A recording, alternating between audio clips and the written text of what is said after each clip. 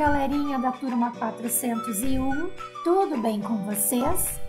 Na aula de português de hoje, vamos iniciar os estudos sobre um assunto chamado vocativo.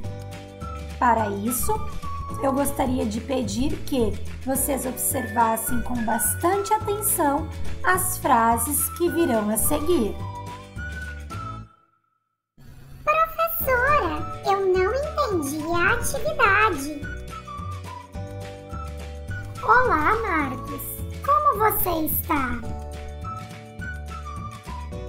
Ei, menina, volte aqui. Preste muita atenção, meu filho.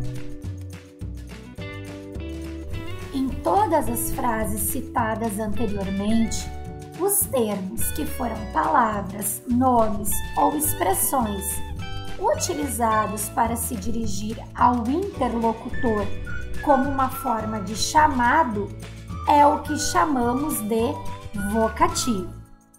Caso você não lembre, interlocutor é aquele com quem se conversa. O vocativo pode aparecer no começo, no meio ou no final de uma frase. Na escrita de frases, o vocativo é separado por vírgulas.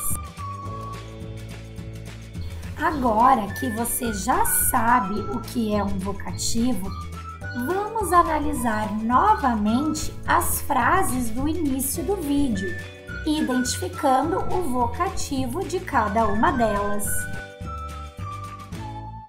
Na frase Professora, eu não entendi a atividade, o vocativo, ou seja, quem está sendo chamado é a professora. Na frase Olá, Marcos, como você está? o vocativo, ou seja, quem recebe o chamamento é Marcos. Na frase Ei menina, volte aqui, o vocativo, ou seja, o interlocutor que está sendo chamado é a menina.